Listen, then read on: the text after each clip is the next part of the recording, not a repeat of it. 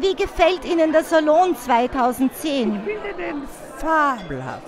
Wenn man den aufschlägt vor ein paar Tagen, man kann nicht enden. Ich habe ihn bis zur letzten Seite durch nicht nur geblättert, gelesen. Es ist zu schön. Der Salon ist ein wunderbares Heft. Und wie sagen Sie schon das dritte Jahr oder vierte Jahr?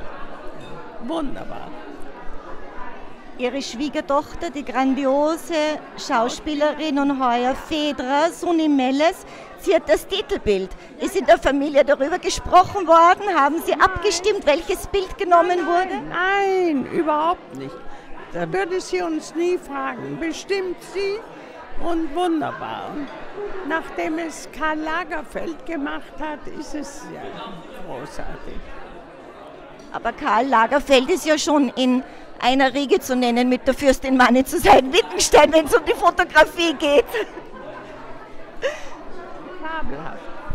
Er ist ein Eitler. Ich wollte ihn in meinem Buch rein, ein Bild, was 20 Jahre alt ist, bei mir ein Fuschel. Nein, keine Rede. Er will nur jetzt, wie er jetzt aussieht, nicht früher. Wird es heuer ein ganz kleines privates Essen in Fuschel geben? Viele kleine, nicht eins, viele kleine.